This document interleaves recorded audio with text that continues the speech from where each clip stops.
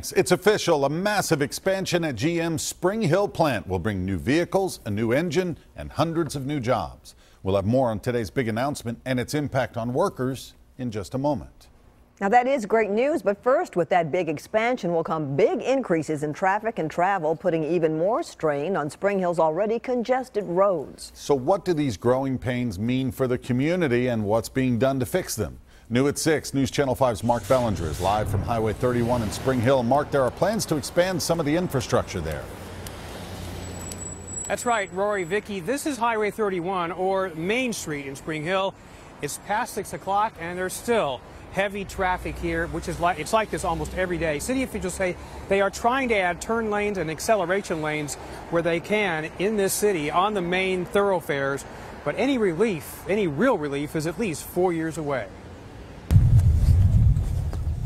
The GM expansion in Spring Hill further solidifies the city's recovery from the Great Recession. Hundreds of jobs are coming. Economists say each of those jobs will create another six support jobs. It's great news if you own a business or build and sell homes. It's great news.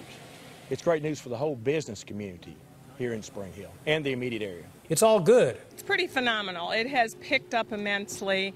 The values of homes are increasing. Or is it? Spring Hill is struggling with infrastructure challenges, mainly roads. The main arteries are clogged during the morning and afternoon rush hours and sometimes on the weekends. Well, obviously, roads is, is a concern and has been. But uh, I understand that the city is working closely with the state. In one case, the state is kicking in money to help with roads. Some of those GM support jobs will be located here on Beechcroft Road. Two companies will employ 500 people and help supply the automaker. And have somewhere in the neighborhood of about 115 trucks per day between the two of them running uh, to the GM plant. Spring Hill City Administrator Victor Lay says the developer building the site is adding turn and acceleration lanes. The city will reimburse the developer with state money. When there is new industries coming, they have a pool of monies at TDOT that they can uh, draw from to, to build roadway improvements, uh, industrial drives into parks, things of that nature. Other road improvements will depend on city planners and TDOT. The city is conducting traffic studies and putting together a plan. It looks like any new construction to widen roads is still four years away. In the meantime, jobs and people keep coming, and Lay says that's a good thing. You know, anytime you hear new jobs, regardless, you get excited about that.